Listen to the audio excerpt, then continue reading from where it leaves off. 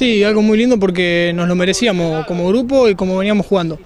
Hubiese estado mejor haber arrancado así, las primeras cinco fechas no pudimos sumar a tres y hubiésemos estado, con 12 puntos podríamos estar peleando el campeonato. Bien, costó estas dos noches de, de frío, hoy hasta parece de veranito con lo que tuvieron que, vivir el viernes, pero bueno, la gente los acompañó y fueron dos buenos resultados.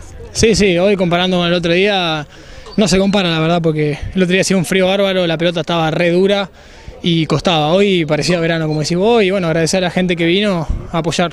Bueno, un primer tiempo sí, un poco más parejo, más movido, ya en el segundo tiempo empezaron a llegar los goles de ustedes y un Pucará que prácticamente no atacó.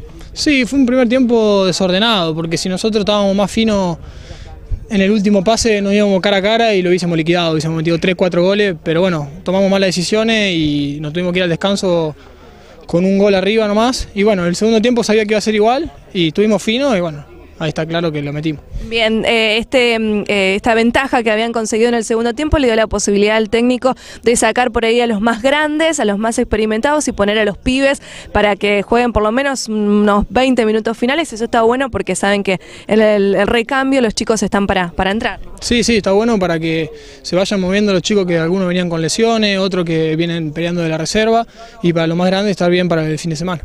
Bien, eh, fue de, bueno, los chicos desde allá arriba nos piden que te preguntemos sobre tu continuidad, qué va a pasar una vez que termine el torneo, si ya tenés algo definido.